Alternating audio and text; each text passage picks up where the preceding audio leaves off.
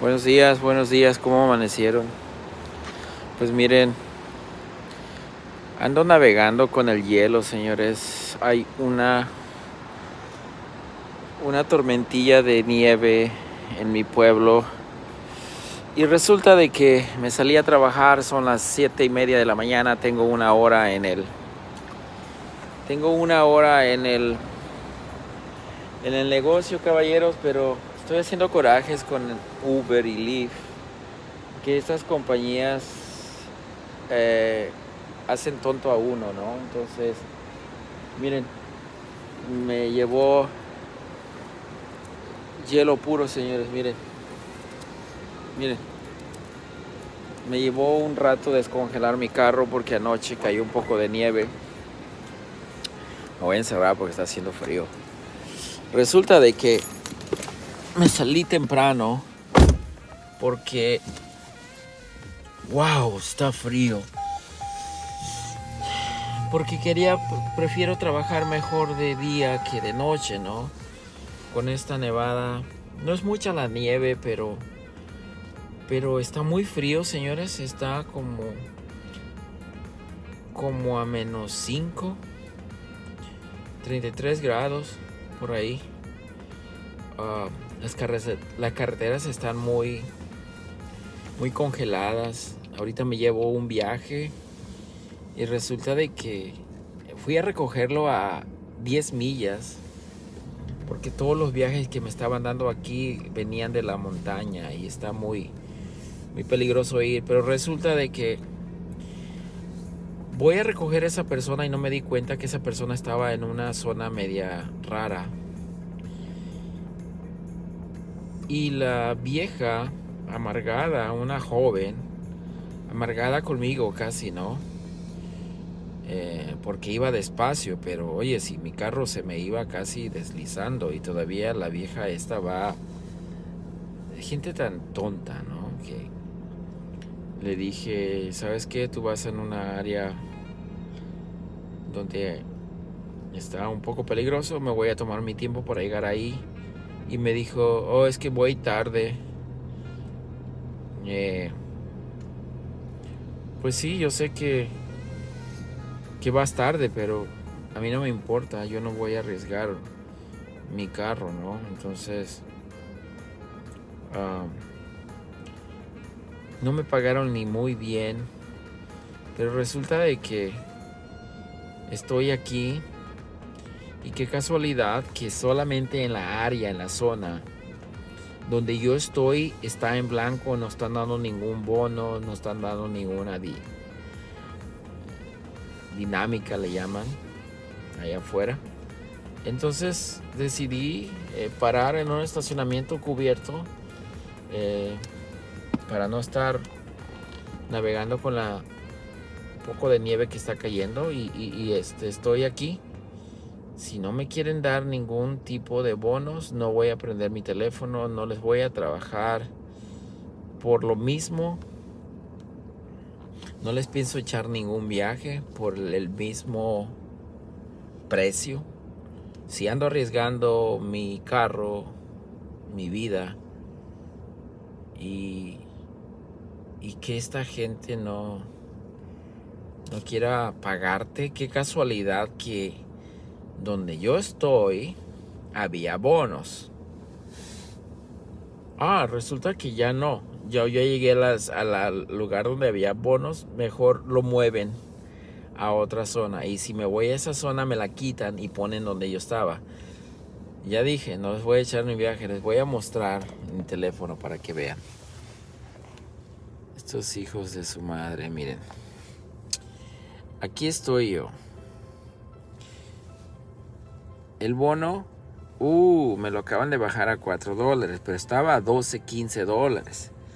Resulta de que ahora nada más me están dando un bono miserable. Son las 7.51 de la mañana, las 8. Y aquí voy a estar, por si me ocupan, pero que me prendan el bono.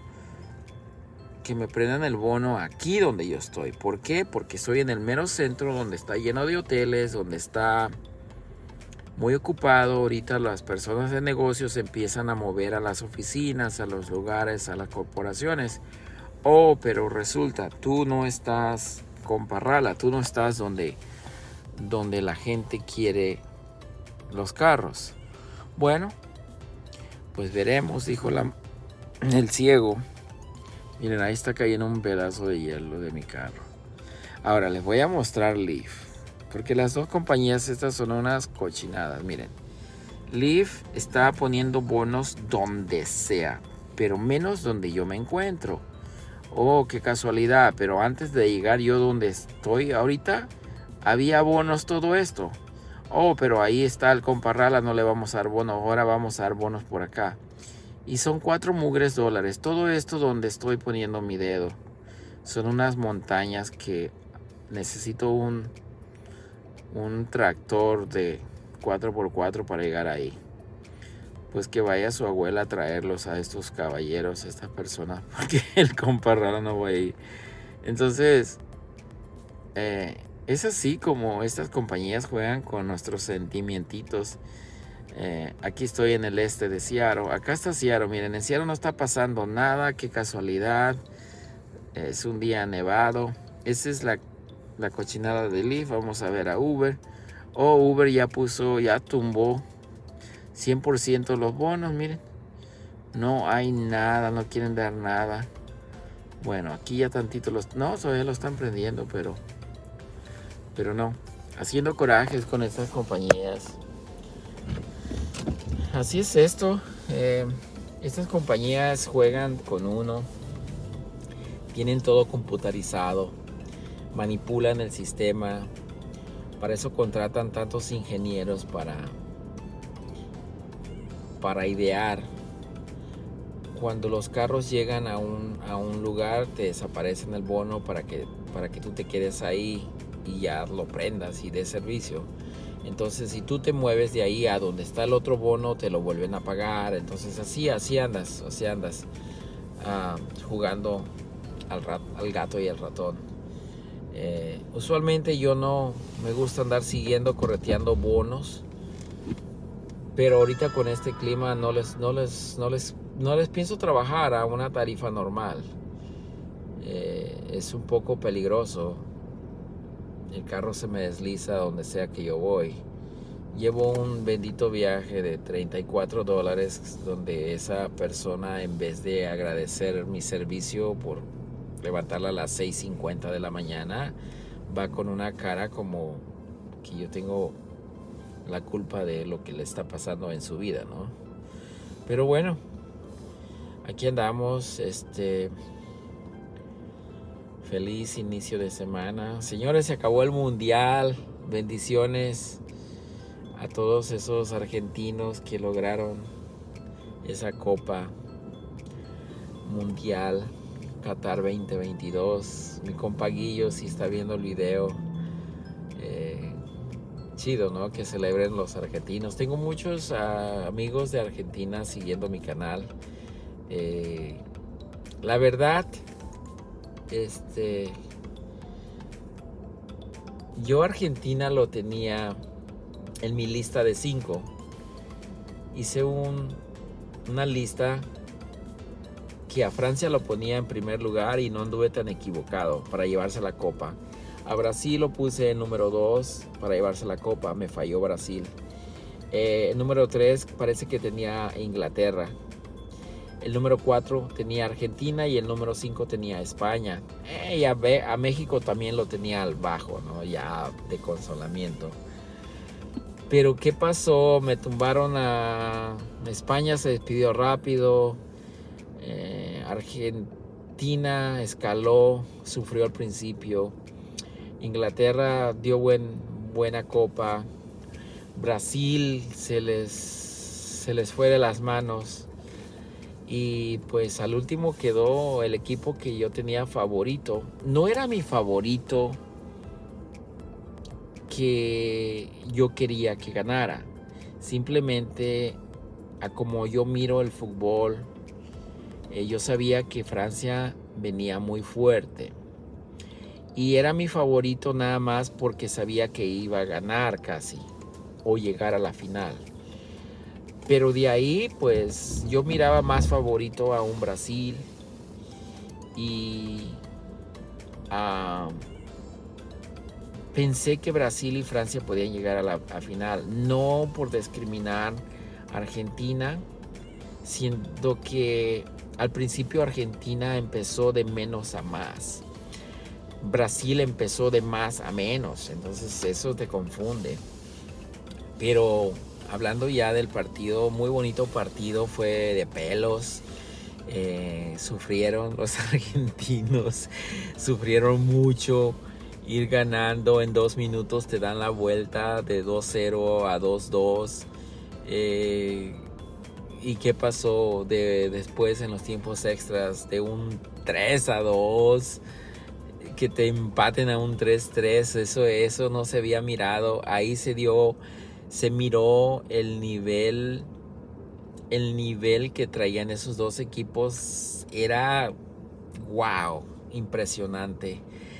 Eh, me gustó que se haya llevado la copa Messi, porque para mí Messi ha sido el mejor jugador del mundo y le hacía falta es, ese trofeo, ¿no? En su currículo, en su historia. Para que ahora sí la gente le pueda decir que era una tontería decir, oh, es el mejor jugador del mundo, pero si no gana la Copa Mundial no es el mejor jugador del mundo. Ya ves cómo son los, los reporteros de deportes, los analistas profesionales de deportes. Eh, Cristiano Ronaldo si no se la hubiera llevado Messi, me hubiera gustado que se la llevara Cristiano Ronaldo también, porque pues han hecho todo, son unos atletas, son profesionales, son buenos. Y de ahí, pues hablando de Francia, pues Mbappé, ah, ya ese chamaco tiene 23 años con una Copa Mundial, imagínense si ganara, la, hubiese ganado la segunda Copa Mundial, wow, ese muchacho viene como, es un monstruo, es, es, es, tiene, es completo todo para eh, ahora en día puede ser uno, uno de los mejores jugadores del mundo, si no es el mejor. Eh, Messi todavía, aparte de su edad, está, está empujando con todo. Creo que, que, se lo merecía, dio todo. Increíble los goles que anotó.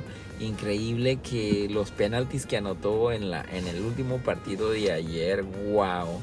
Ese, Mbappé es un locazo, tres goles, un hat-trick que le llaman en, en, la final. ¡Wow! Pocas veces lo había mirado.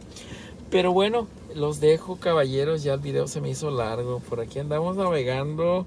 Qué bueno que ya terminó la copa. Triste porque ya terminó, pero pues nada más a ver los las repeticiones de los partidos que no llegué a mirar. Este...